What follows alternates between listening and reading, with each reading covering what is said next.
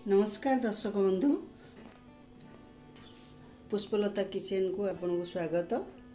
ମୁଁ ଆଜି ବନେଇବାକୁ ଯାଉଛି ପରିବା କାଞ୍ଜି ଦହି ପକେଇ ଆଉ ଚିଙ୍ଗୁଡ଼ି ଶୁଖୁଆ। ଆଉ ମୁଁ ଏଥିରେ ନେଇଛି ଗୋଟିଏ ବାଇଗଣ ଯାହାକି ତାକୁ କାଟି ଦେଇଛି। ଭେଣ୍ଡି ଦଶଟି ନେଇଛି ତାକୁ କାଟି ଦେଇଛି। କିଛି ଗୁଆନ ଝଟା ଆଉ ଗୋଟିଏ ମୂଳା। ଆଉ ଅମୃତଭଣ୍ଡା ଟିକେ ଫାଳଟି ନେଇଛି ତାକୁ ମଧ୍ୟ ପତଳା କାଟି ଦେଇଛି। ଦୁଇଟି ଟମାଟୋ। ଆଉ ଦହି ଗୋଟେ ଗିନାଟି ନେଇଛି ଖଟା ଦହି ନେବେ ଆଉ ଇଡଲି ସୁଜି ସହଜରେ ଉପାୟ ବନାଇବା ପାଇଁ କାଞ୍ଜି ଇଡଲି ସୁଜି ନେବେ। ଆଉ କିଛି ଛେଚା ହେଇଥିବା ରସୁଣ ଆଉ ଶୁଖିଲା ଲଙ୍କା ଆଉ ଭୁସୁଙ୍ଗା ପତ୍ର। ଏତିକି ଦେଇ ଆପଣ ଆଉ ଚିଙ୍ଗୁଡ଼ି ଶୁଖୁଆ। ଆପଣ ଦେଖୁଥିବେ ମୁଁ ଭାଜି ହୋଇକି ରଖିଛି ମୁଁ ଏଠି ଗୋଟେ ଜାଗାରେ ଦୁଇ ଗ୍ଲାସ୍ ପାଣି ଦେଇ ଗ୍ୟାସ୍ରେ ବସେଇଛି। ଏଇଥିରେ ଦହି ଗିନାଟା ମୁଁ ପକେଇଦେବି। ତାକୁ ଟିକେ ଫୁଟିବାକୁ ଛାଡ଼ିଦେବା। ଫୁଟିଗଲେ ପରିବା ପକେଇବା।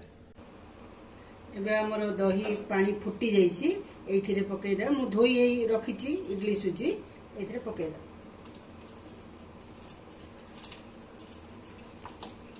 ହଳଦୀ ଗୁଣ୍ଡ ପକେଇଦେବା। ଏବେ ଫୁଟି ଯାଇଛି ଆମେ ତାକୁ ଅମୃତଭଣ୍ଡା ପକେଇଦେବା। ମୂଳା ଅମୃତଭଣ୍ଡା ଇଏ ଟିକେ ସିଝିବ ନା? ଆମେ ଭେଣ୍ଡିଟାକୁ ପଛେ ଦେବା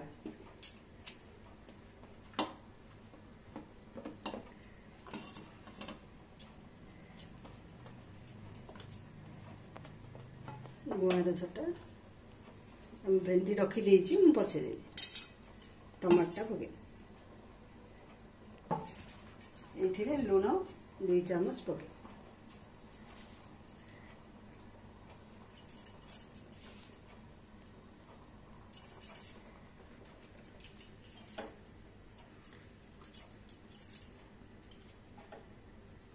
କିଛି ସମୟ ପରିବା ସିଝିଗଲା ମୁଁ ଏବେ ଭେଣ୍ଡିଟା ପକେଇ ଦେଉଛି।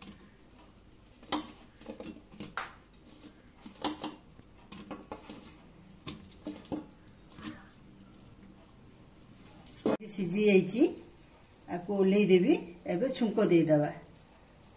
ଚାମଚ ତେଲ ଦେଲି ସୋରିଷ ତେଲ।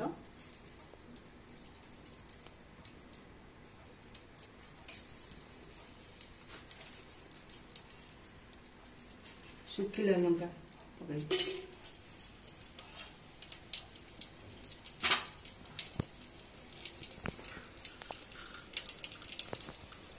ପଞ୍ଚ ଫୁଟଣ ପକାଇଦେବା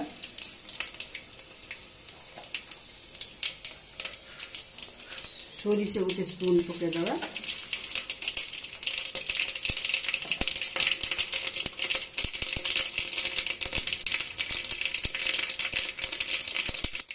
ଛେଚା ହେଇଥିବା ରସୁଣ ପକାଇଦେଲି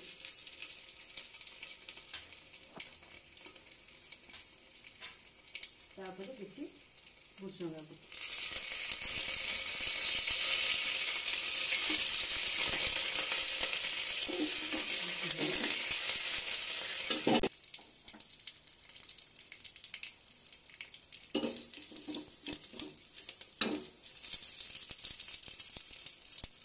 coba yang muda aja tinggi juga oke doang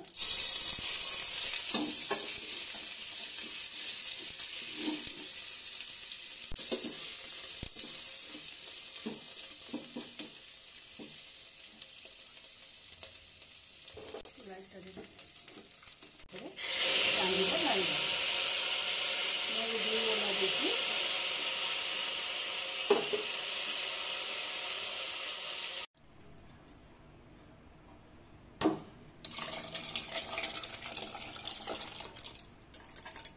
ପ୍ରସ୍ତୁତ ହେଇଯାଇଛି। ପରିବା କାଞ୍ଜି ଯାହାକି ମୁଁ ଦହି ପକେଇ କରିଛି।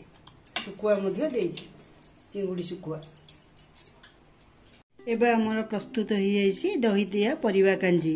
ଆପଣଙ୍କୁ ଯଦି ଭଲ ଲାଗିଲା ମାନେ ଘରେ ଆପଣ ଟ୍ରାଏ କରିବେ। ଆଉ ଏ ଭିଡ଼ିଓଟି ଯଦି ମୋର ଭଲ ଲାଗିଲା ଆଉ ଲାଇକ୍ କରିବେ ସେୟାର କରିବେ କମେଣ୍ଟ ଦେବେ। ଧନ୍ୟବାଦ।